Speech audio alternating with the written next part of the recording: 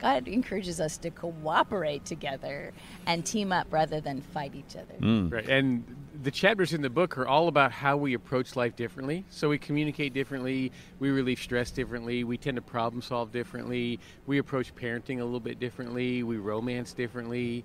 And so when you learn to serve one another, which the the modern way of saying that is we take turns meeting each other's needs. But when you when you serve one another, everybody's needs get met, and the entire family operates better. Right, and so the um, the premise in the book is really based on all the one another's in the Bible. Serve one another, accept one another, love one another, forgive one another. There's a lot of good advice God has for marriage. And Bob, I've met a lot of men who they didn't realize at the time, but when they got married, they thought they were marrying a, a buddy that looked way better than all his guy friends. And then he got Real- married and realized I married a woman and she operates differently. And so, as you appreciate those differences and you talk about the one another's, and that's not something that, I mean, it does take time to learn to to love one another and to love one another in the Lord and to build a strong marriage, not an overnight thing. And so, tell me what you see as perhaps the way to get there. You know, we, we know God if you know if God has called a married couple together and we see the purpose for marriage, the ordination of marriage in Genesis chapter 2, but there is a process.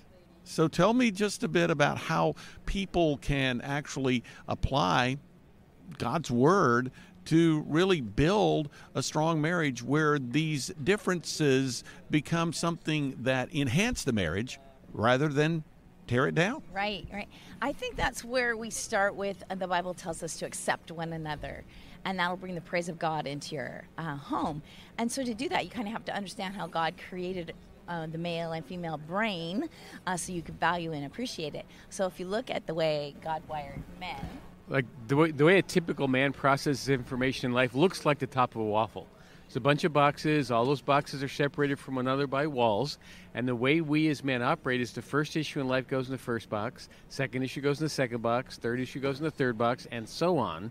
And we as men, we spend time in one box at a time in one box only. And hmm. because of that single focus that we naturally have, we're problem solvers by nature. We like to go into a box, figure out what the problem is, assign a solution, and then move on.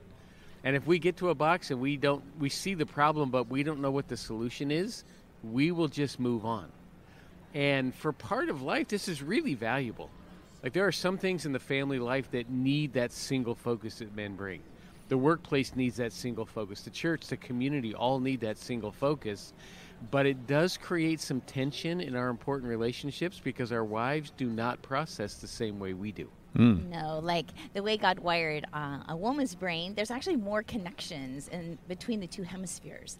And so, if you look at the way a woman's mind works, it looks like um, a one noodle uh, laying on top of a plate of noodles. And if you follow that one noodle around, it looks like it touches pretty much every other noodle on the plate. And that's the way we women process life: is we travel through life making emotional connections to the people and things that matter most to us. So by nature, we're really awesome at um, multitasking, or sometimes called toggle tasking, jumping from thing to thing to thing.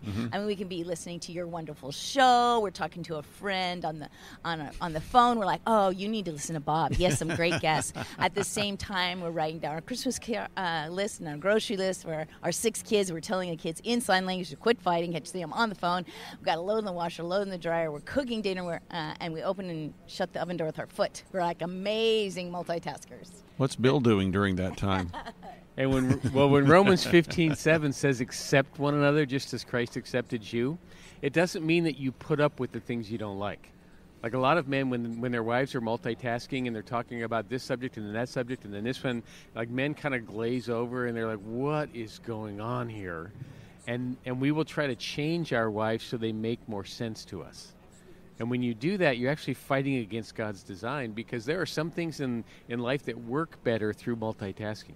Hmm. Like everything in our family that needed Pam to I ran the multitask. schedules, the many, many schedules. Yeah, because I, I would have shut our, our schedules down. I would have limited everybody, and Pam had the ability to make opportunity for everybody. So learning to value the differences that your spouse brings is what acceptance is all about.